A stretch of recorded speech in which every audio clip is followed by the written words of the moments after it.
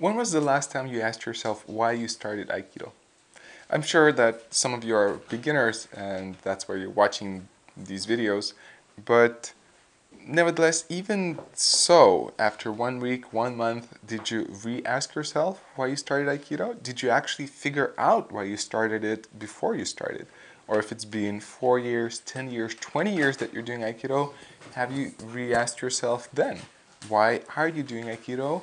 And and most importantly why you started because why i'm asking because it's interesting to notice the i had to I had the pleasure to meet many people who study Aikido for many years and from many different countries, many different cultures, uh, styles, etc. And I noticed that 99% of who I met, everyone started Aikido for this bigger, greater reason. They were drawn to either the philosophy of a sensei, they were drawn to the beauty of the aesthetics of the movement.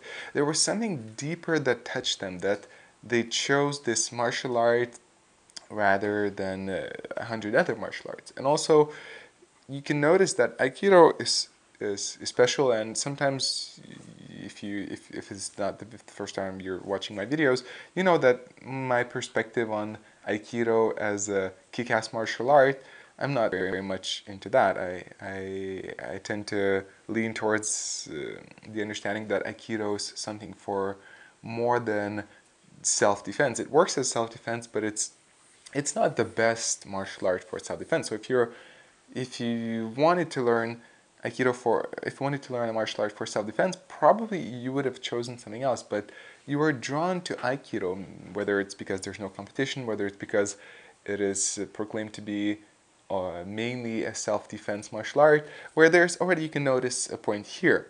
If Aikido, if you chose Aikido because it's mainly a self-defense martial art, that means you were not drawn to something aggressive. You were not drawn to something kicking ass. And maybe later, what happens oftentimes is that later when you study the art, uh, you get to meet various people. You have to start various. You have to start having various doubts, and eventually you start to lose that contact point of why you started. But initially, whoever started Aikido, 99% of people started for a deeper reason. Now, my question for today is Are you still sticking with that deeper reason? Are you still doing Aikido for that deeper reason? Or are you doing it just because it became a habit? Just because, are you doing it in a way which everyone else does it and you do it because everyone else does it in that way? Or are you really trying to connect with something that called you to do Aikido? Are you sticking to what Aikido was initially for you and what Aikido is really driving you to do? Because as a last story, a friend of mine was studying Aikido for about 10 years in a dojo, one of the biggest dojos in our country, and he was one of the first people to start with them. And after about 10 years, he started to feel that there's no more that essence of Aikido that, that initially drew him towards there. And nobody, no one else seemed to be interested in it or explore it. And he eventually lost that fire to study Aikido. And then after some years, we met and we started discussing about what Aikido is uh, and how, how it can change the world. And he suddenly started to become very much on fire again because he rediscovered that initial reason, reason why he started Aikido, and then Aikido again became his life. But when we spoke about that, he would tell me often that when he was grinding Aikido and just uh, just kind of scratching the surface of it, not going deep with his first group, he wouldn't feel any real development. He wouldn't feel any real change, and.